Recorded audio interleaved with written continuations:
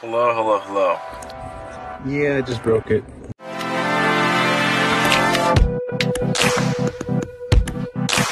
This video is going to be about cameras. What's it called? What it? Too many Amazon packages. I don't know. This big one. It's really fucking heavy. Uh, anyways, we're here to talk about cameras. So I bought the A6400 and I thought it was going to be amazing. The quality, I've taken a couple pictures with it and I cannot believe how fucking awesome it is.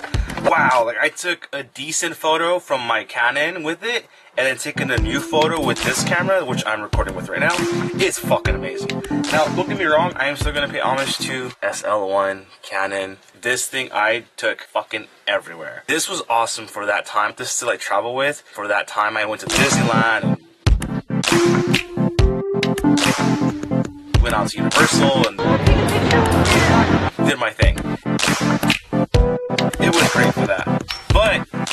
As time progresses, these cameras do get more expensive, and they I don't think they get lighter to be honest, but they, they definitely get smaller. This compared to that camera is a huge difference. By the way, I lost this shit like four times. Like I was so bad with fucking covers. Anyway.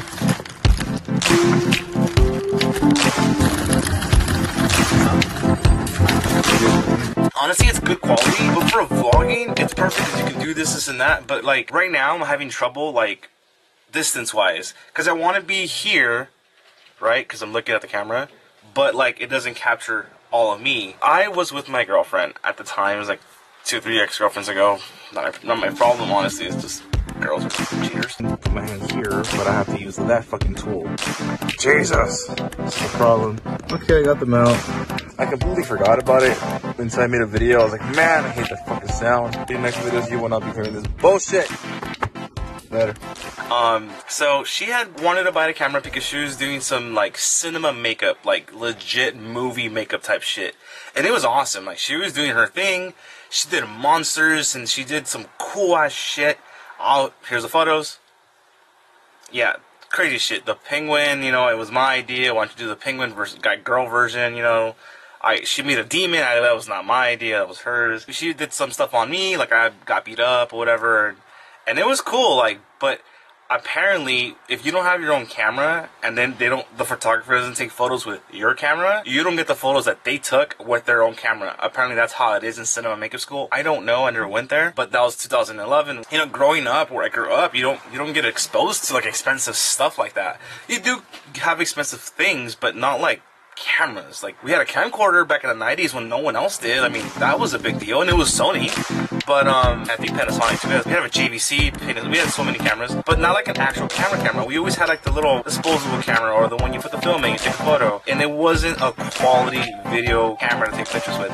So finally, when I when I met this person, you know, obviously I was with her for two years, whatever, and I used the camera ever since then. I was kind of hooked. Like, damn, the quality in the photos are like amazing. I want one one day. I broke up with her after her cheating and then I moved on, and then met another girl, and she was into photography kind of too, and, and, then that's when I slowly got more into photography, taking photos. We're like, damn, we we travel so much, we go so many places. Or when I went to Cabo, or uh, where else did I go? Uh, Cancun. I went so many places. I ended up investing into the M50, but you know, for being for being manual and being legit, like like like this, I am still okay. I move a little bit, okay, but I'm when I was taking the fucking photo, very still blurry photo every fucking time. Oh my god, I can't do this. I, I, can't do this.